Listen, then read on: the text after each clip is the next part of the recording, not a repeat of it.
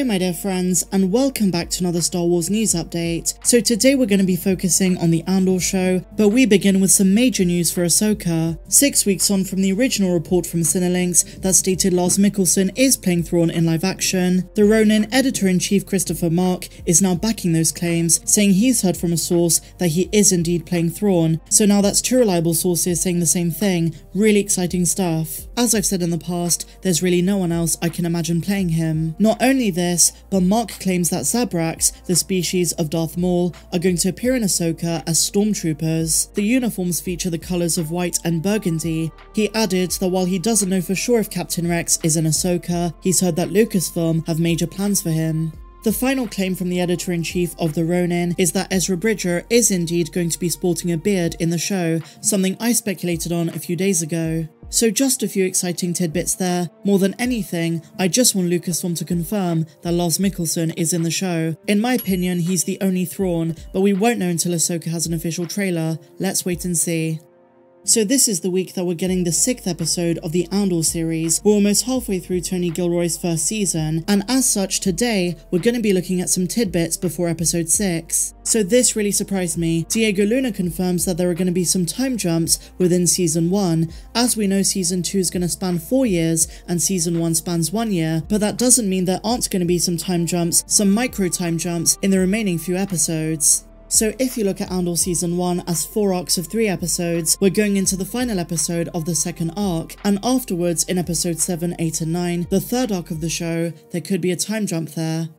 And so moving on to our next Andor tidbit, I want to do a deep dive into something a bit more peculiar. Now bear with me, everything I'm about to say is relevant. So on June the 30th, 2023, next summer, Indiana Jones 5 releases. Now it's going to be a special film for many reasons. Not only is it the fifth and final Indiana Jones movie, but it's also John Williams' final cinematic musical score, and perhaps Harrison Ford's final performance as the beloved heroic archaeologist. Now the sequence of recent events is as follows. On May the 26th, 2022, the first Indy 5 image was released, then on June the 5th, Epic Games announced that Indiana Jones was on Fortnite. On September 2nd, John Williams debuted Helena's theme at the Hollywood Bowl. And eight days later, on September 10th, the first Indy 5 footage premiered exclusively for those at Disney's D23 Expo. Harrison Ford came out to greet the audience and was very emotional indeed, more than he's ever been for Han Solo. After all, it is notorious that he didn't really like the role. But at D23, he told the audience just how great this final installment of Indy is. Now you might be wondering, so Meg, what does Indiana Jones have anything to do with Star Wars?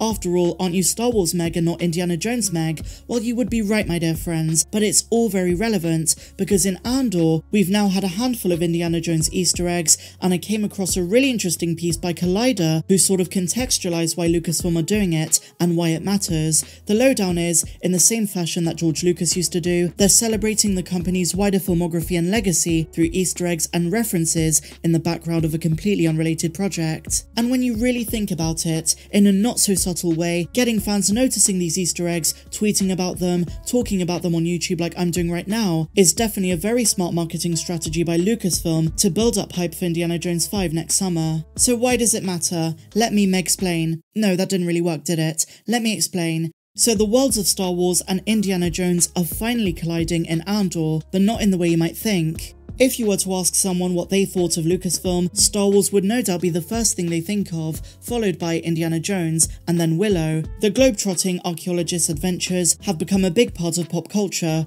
maybe not as big as Star Wars, but still very significant, and until now, the two franchises offer a very different cinematic experience. While the Jones and Star Wars franchises have a few things in common, notably Harrison Ford himself, Andor by Tony Gilroy pays homage to the famous archaeologist in its most recent episodes, and in the best possible ways. The recent two episodes of Andor, episodes 4 and 5, had plenty of Star Wars Easter eggs, and I broke those down in my breakdowns and reviews. We spoke about how they're expanding Star Wars lore, doing quite a lot with the sequel trilogy in terms of Easter eggs, as well as connections to the prequels, Star Wars Rebels, even Starkiller from The Force Unleashed, and so much more. But admittedly, while a lot of us were really excited about these Easter eggs, some of us right off the bat noticed the references to Indy. The first is an item frozen in carbonite, and upon further inspection, the item turns out to be Indiana Jones's trusty bullwhip. The bullwhip is as much a part of Jones as his trademark fedora and pistol. He used it to grab objects, to swing from place to place, and even utilized it in combat. But a second Easter egg which not many people noticed came in Andor Episode 5 The Axe Forgets, and this Easter egg is a reference to Indiana Jones and the Temple of Doom. In Episode 5, when Stellan Skarsgård's Luthen Rael is shown listening to radio waves in order to keep track of Cassian and the rebel Sully's joint on A pair of large-shaped stones with strange markings can be seen on the shelves behind him. Said stones are the Sankara stones, which Jones was tasked to retrieve from the Thuggee cult led by Mola Ram. The Sankara stones, if you've seen the film, turn red hot whenever the name of Shiva is invoked, which brings great harm or great power to whoever's using them. Now, it must be said, this is not the first time Star Wars is paying homage to the Jones films. In Raiders of the Lost Ark, Indy boards a plane that has the serial number OBCPO. This number happens to be a dual reference to the protocol droid C3PO and Obi-Wan Kenobi, and a wall of hieroglyphs in a later sequence depict R2-D2 receiving the Death Star plans from Princess Leia. Temple of Doom also has a not so subtle Star Wars reference. The club that Indy frequents in the opening sequence is called Club Obi-Wan, so it goes both ways, as The Empire Strikes Back also contained a pair of blink and you'll miss it Easter eggs from the Jones films. When Chewbacca travels to Cloud City's incinerator room to find a damaged 3PO, the Ark of the Covenant can be spotted amongst the various piles of junk, and if you squint, Han Solo is carrying a bullwhip on his belt. Even though Raiders had yet to start filming at that point, George Lucas already had Harrison Ford in mind for Jones, and with Indy 5 releasing next summer, as well as plenty of Star Wars projects in development, I think we're going to see more of these Easter eggs across various shows. So I think Lucasfilm's really having their cake and eating it too, relying on Star Wars to also promote the Indiana Jones franchise. I have no problem with it, but an understated reason I think it's amazing that Andor is doing this is because it really keeps in the legacy of George Lucas, and with so many Star Wars fans saying that the Andor series is the best live action Star Wars show we've had, in some cases right on par with The Mandalorian, then it's so important to have that George Lucas essence run through its veins. Tony Gilroy may have said that he's not a Star Wars fan, and building up to the series, in countless interviews he did state that he's not doing it for fan service. He's truly done a great job at keeping Lucas's legacy alive in this show, and it does go back to the whole light-hearted thing. Andor for the first five episodes has certainly been a dark, gritty, and adult version of Star Wars. So throwing in these light-hearted gems in the form of Easter eggs gives fans the opportunity to kind of say, oh look, it's Indiana Jones's belt, something at face value that's really silly, that kind of brings a lightheartedness to the series, and more than anything reminds us of the key to all of Star Wars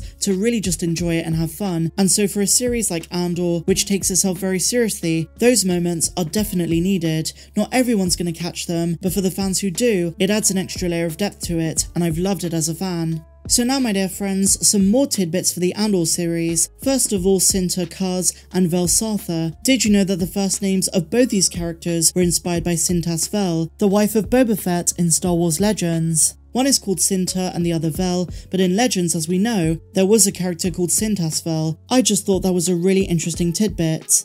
And so finally, my dear friends, for the Andor series, I want to give attention to something which I think a lot of times is obvious in the show, but is really being highlighted in interesting ways, and that is the incompetence of the Empire, but it's a self-imposed incompetence. They had everything they needed to clamp down on the rebellion, the early rebellion, but they didn't do it. And it goes back to something Cassian says in episode 3 to Luthen.